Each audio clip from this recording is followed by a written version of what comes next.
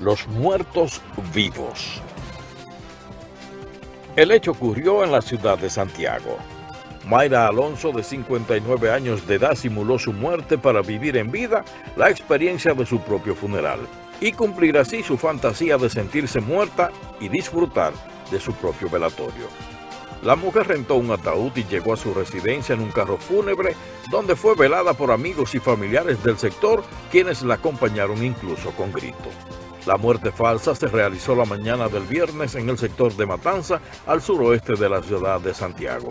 Mayra se preparó y se vistió para la ocasión. Con una bata blanca, una corona y hasta algodones se puso en la nariz. Además fue pintada como suelen hacer con algunos difuntos.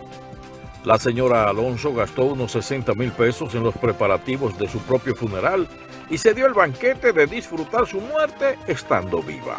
La muerte falsa de la mujer de Santiago es un recordatorio claro de la gran cantidad de gente que sigue viva estando espiritualmente muerta.